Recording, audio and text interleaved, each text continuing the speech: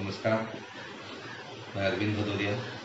मैं corona positive पाया गया हूँ। हालाँकि कोई लक्षण नहीं थे, फिर भी एहतियात के तौर पर हल्की सी गले में खराश थी। मैंने कल टेस्ट कराया, उसकी रिपोर्ट आई है। देर रात करीब साढ़े बारह बजे मुझे प्राप्त हुई है। मैं रात को स्वयं भी हॉस्पिटल आकर भर्ती हो गया हूँ और ईश्वर की कृपा से अभी स्वस्थ महसूस कर रहा हूँ अच्छा महसूस कर रहा हूँ।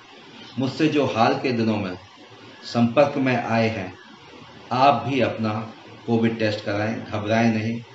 आप सभी स्वस्थ रहें, सुरक्षित रहें, घर पर रहें। जो सरकार के नियम हैं, जो रूल रेगुलेशन है, कोरोना से संबंधित, उनका फॉलो करें। वो जल्दी ठीक होकर आऊँगा। सभी के साथ लंबे समय राष्ट्र कार्य करना है समाज कार्य करना है पार्टी कार्य करना है। बहुत बहुत धन्यवाद बहुत बहुत आभार। नमस्कार।